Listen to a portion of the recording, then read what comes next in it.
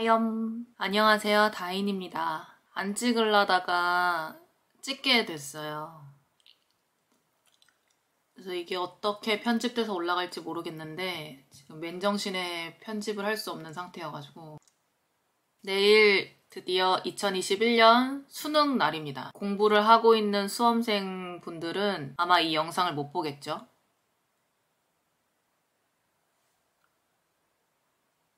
사실 이 영상은 수험생 분들보다도 수험생이 아닌 분들이 많이 볼 것 같긴 한데 그래도 응원을 하는 게 좋겠죠?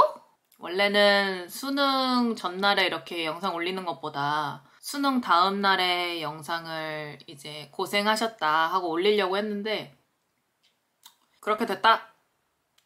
내일 수능 준비한 만큼만 하세요.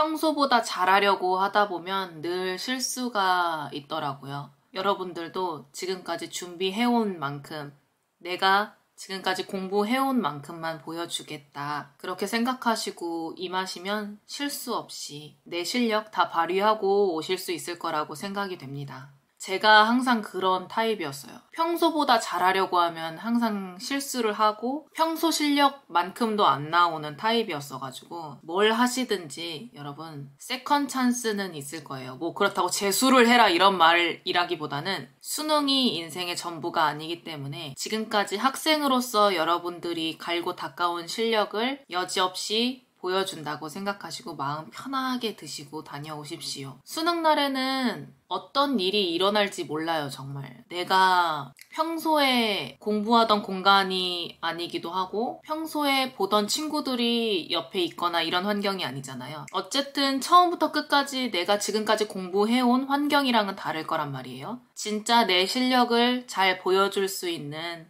무대에 올라갔다고 생각하시고 긴장하지 말고 프로 배우가 무대에 서듯이 내가 지금까지 해온 걸 잘 펼칠 수 있는 기회가 되시길 바랍니다. 평소보다 실력이 안 나올 수도 있어요. 그런데 그런 실수 때문에 내 인생이 망하거나 하지 않아요. 절대로. 수능이 중요한 건 맞지만 인생의 전부는 아니니까 너무 겁먹지 말고 내가 지금까지 갈고 닦은 실력을 여지없이 펼칠 수 있는 좋은 무대가 되길 바랍니다.